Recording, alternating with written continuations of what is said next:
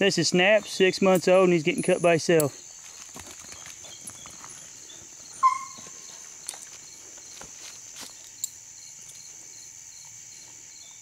Off the trail and through the woods he goes.